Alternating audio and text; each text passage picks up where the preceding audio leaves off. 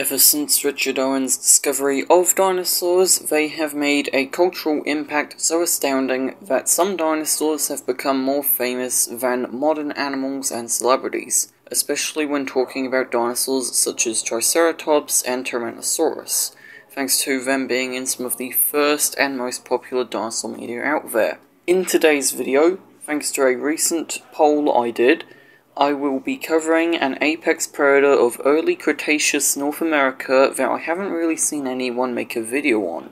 Acrocanthosaurus atokensis, Atoka County's high-spined lizard that ruled North America before Tyrannosaurus rex. Also, I think I should note that even though I believe it'd be more accurate to call them vertebrae, I will refer to its vertebrae as spines throughout this video since it's easier and quicker.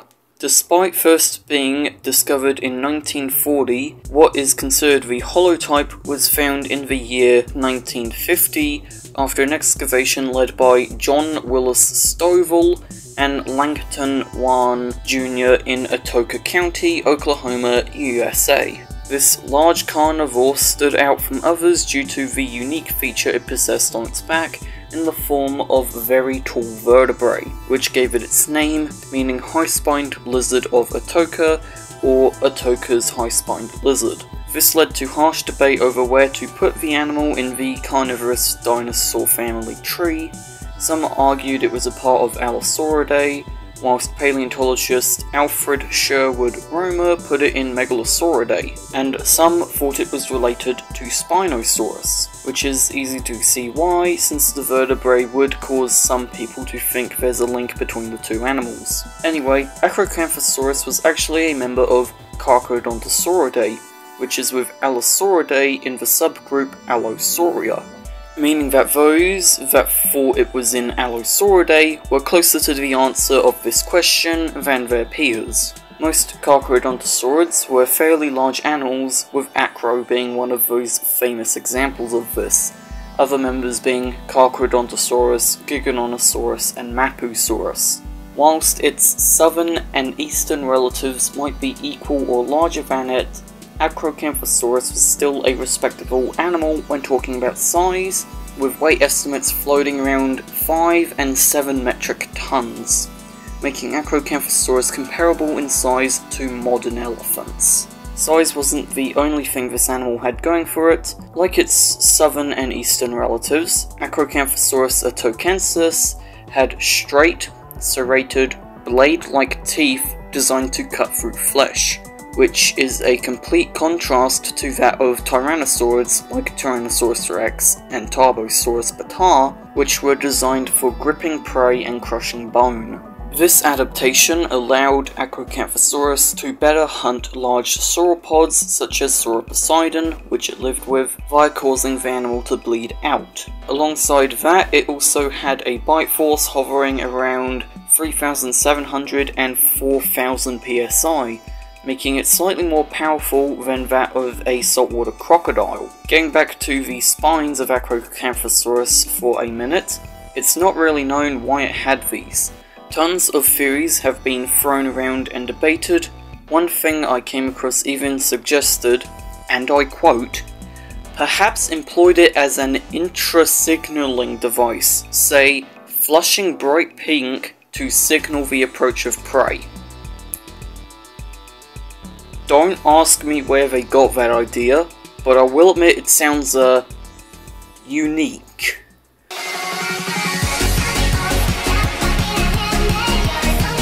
These spines were massive by the way, with some being a foot tall. One theory also proposed was that it used them to cool down via releasing excess heat from wind passing over it. Another one is that it would have used its spines as an attachment point for a layer of fat that'd keep it fed just in case it can't find food, or to appear healthier than others, therefore showing the individual was more worthy of mating with because it had a larger hump of fat on its back, which would demonstrate how well it could hunt. There was even another theory proposed where the spines actually acted as a attachment point for more muscles, similar to bison if I remember correctly. Whether or not it used its spines for something will probably remain a mystery for a little while longer, but whether they had a purpose or not doesn't stop us from learning more about this animal. There's at least seven specimens known, and despite the fragmentary nature of these individuals, we do know most of the entire skeleton of the animal. The largest specimen, for anyone wondering, is believed to be 11.5 meters in length or nearly 38 feet long, making it slightly shorter than Tyrannosaurus, and somewhere between half a meter and 1.5 meters shorter than its relatives Carcharodontosaurus and Giganotosaurus. Alongside this, even though it went extinct roughly 110 million years ago, it was a very widespread animal, with fossils being found in Oklahoma, Texas, Arkansas, and even Maryland. And there's even been footprints found across northeast and southwest Texas attributed to Acrocanthosaurus. Some have even claimed these footprints show it hunting a sauropod, and some prints even show a pack stalking a sauropod.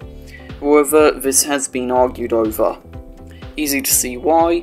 From what I know, there isn't really much evidence for pack hunting among theropods, and really, if they did pack hunt, think more something like Komodo dragons or random mobs of wannabe gangsters instead of wolves and cultured people. And there's also the possibility the footprints were laid down separately around the same time. Who knows, maybe Acrocanthosaurus might have been an exception, but for now I'll leave it up to the experts to figure this out for themselves. I'm a 16 year old kid on YouTube doing basic research at most, not someone like David Hone or Darren Naish. Heck, even this guy's better than me, even if he can be a bit, um, weird sometimes.